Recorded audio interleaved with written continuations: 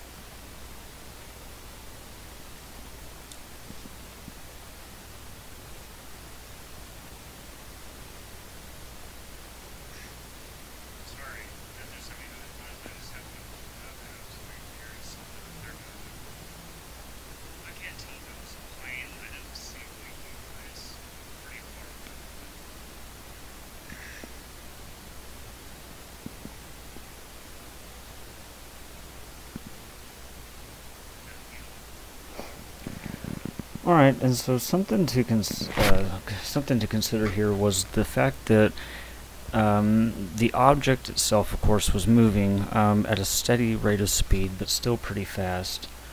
Um, I'm using a Celestron NexStar 8SE um, 8-inch telescope, and what's happened is I'm having to use my remote controller to use the uh, to move the motorized uh, telescope or the mount uh, uh, for the telescope.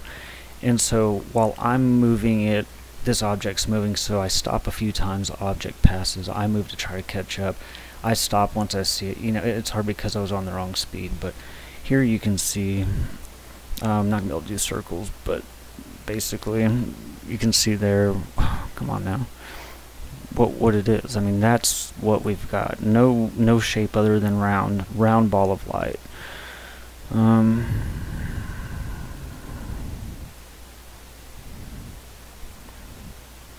Let's kind of move forward here.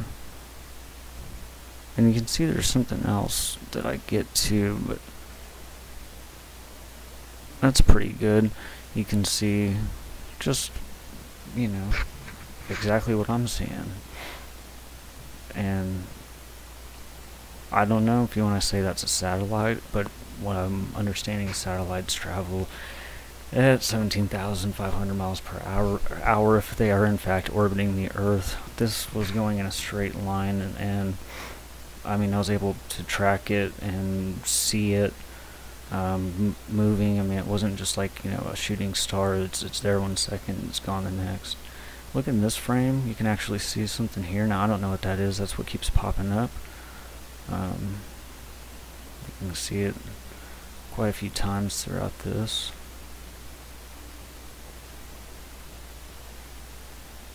Okay. Um, there, I mean, that's really the best view you're gonna get. I mean, that right there. So that's what I got. Um, yeah, feel free to let me know what you think it is. Um, pretty cool. My first uh, first time tracking um, a UFO uh, for sure. So I'm not saying it's alien. It very well could be our own technology, but just wanted to show you that. So um, yeah, thank you for watching, and uh, please leave a comment and be uh, sure to look out for my next videos coming up. I'm usually putting out about one a day, um, but we'll see how that goes. Um, and uh, be sure to share this video to anyone you may uh, know who's got better understanding what it could be. Alright, thanks.